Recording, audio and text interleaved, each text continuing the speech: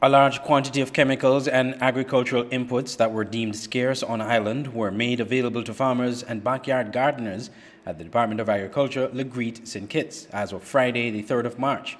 The offloading of chemicals from one shipping container was done at the department grounds on Friday morning and follows the delivery of two containers worth of animal feed and veterinary medicine the week prior.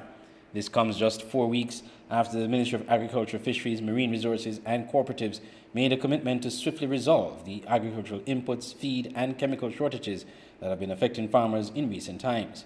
Some of the agricultural products that were brought in include Carista, Diuron 80%, Select 12 and Basagran. Farmers are asked to contact the Department of Agriculture at 467-1831 or 467-1841 for further production information. Offices are open Monday through Friday from 8 a.m. to 4 p.m.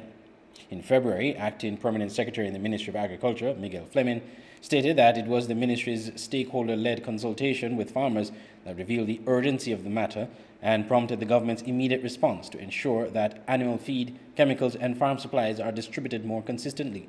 Just last week, this video of a farmer on St. Kitts complaining about a lack of chemicals went viral. Look at what's going on right now in agriculture. From since October, we are out of herbicide. A serious look at what's going on here. This is my farm. Everything here is overgrown. How am I supposed to move forward? We can't get simple chemicals to move forward, but you're telling me about 25, 25 mission. And these are the kind of struggles that we as farmers have to face. Look at this here. Every single part of my farm, everything is overgrown. Watermelon, you can't see them, they're overgrown. Pumpkins, they're overgrown. Sweet potatoes down there, they're overgrown. Eh? How are we supposed to move forward?